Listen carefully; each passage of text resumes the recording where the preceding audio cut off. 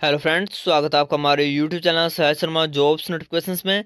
तो आप सभी को पता होगा, यूपी टेट की आपकी जो रजिस्ट्रेशन है, वो ओपन हो चुकी है। आपको कैसे स्टेप बाय स्टेप आपको भरनी है, पूरी जानकारी आपको इस वीडियो मिलेगी। चैनल को सब्सक्राइब कर लो फॉर दी मोर डिटेल के लिए। और ये वीडियो बन बनने आपके एक मोबाइल फ़ोन से। तो आपको मोबाइल को आपको डेस्कटॉप मोड में कर लेना है, या आपको मोबाइल फ़ोन को आपको रोटेट कर लेना है, ठीक है?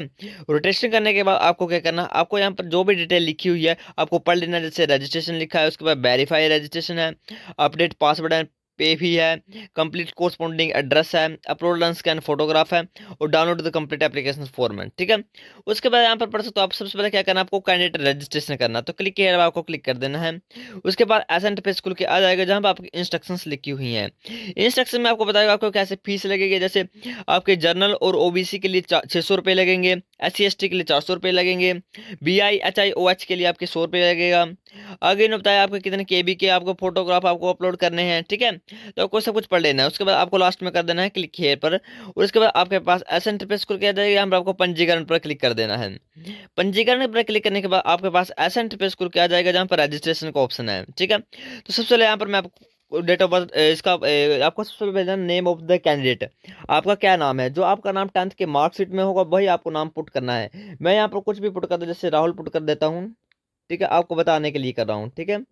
उसका फादर नेम आपको पुट करना है। फादर नेम कुछ भी भर लो, आप, जो आपका फादर नेम आपको टेंथ के मार्क्स पर आपको अवेलेबल होगा, ठीक है? मदर नेम आपको पुट करना है, जो टेंथ के मार्कशीट में होगा, ठीक है? ठीक है, इतनी बात होगी। ना पहले candidate name, father name, mother name. उसके बाद date of birth. Doctor date of birth कैसे लिखनी है, आपको लिखनी नहीं है, यहाँ पर आपको एक आपके पास ये दिया जाता है, ठीक है? आपको पता ही होगा, इसको बोलते हैं आपका डेट ऑफ़ बर्थ कैलेंडर। तो डेट ऑफ़ बर्थ कैलेंडर आपके पास दिया हुआ है, आपको यहाँ पर सबसे पहले आपको ईयर सेलेक्ट कर लेना है। क्या सेलेक्ट कर लेना है? ईयर सेलेक्ट कर लेना है आपको, ठीक है? इस पर क्लिक करना है। ईयर में आप यहाँ पर देख सकते हो यहाँ पर दो हज़ार छः लिखा हुआ है तो आपको यहाँ पर दो जो भी आपका ईयर है जैसे ए, मेरा है दो हज़ार एक ठीक है दो हज़ार एक लिख लिया। उसके बाद यहाँ पर आपको क्या डालना है? स्लैश से पहले आपको लिखना है यहाँ पर मंथ कौन सा मंथ है? तो ज़ीरो फोर ठीक है? और यहाँ पर डेट ऑफ़ बर्थ लिखना है जैसे जैसे इक्कीस इक्कीस चार दो हज़ार एक ठीक है? या आगे डेट ऑफ़ बर्थ ठीक है? यहाँ पर आप ठीक भी कर सकते हो फिर से ठीक है? ये देखो डेट ऑफ़ बर्थ लिख दी। डेट ऑफ़ बर्थ लिखने के बाद आपके पास नेक्स्ट आपके कैटेगरी सेलेक्ट करने का, ठीक है? तो, तो आपको कैटेगरी कैसे सिलेक्ट करनी है यहाँ पर आपको लिखा है कैटेगरी तो यहाँ पर आपको unreserved other background classes schedule caste schedule tribe जो भी आपके कैटेगरी उस पर आपको क्लिक कर देना है। उसके बाद आपको यहाँ पर सिलेक्ट करना है आपके स्पेशल कैटेगरी स्पेशल कैटेगरी आपके फ्रीडम फाइटर हो सकती है एक्स सर्विस मैन हो सकती है या कुछ भी नहीं होगी तो आपको एन कर देना है। एन करने के बाद आपको जेंडर सेलेक्ट करना है जेंडर आपको मेल फीमेल जो भी हो आपको सिलेक्ट कर देना है।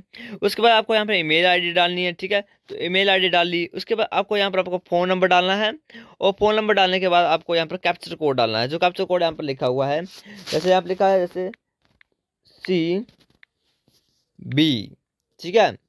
उसके बाद पी एच यू ठीक है? ये आपकी थी आप कैप्चर कोड उसके बाद आपको नेक्स्ट कर देना है।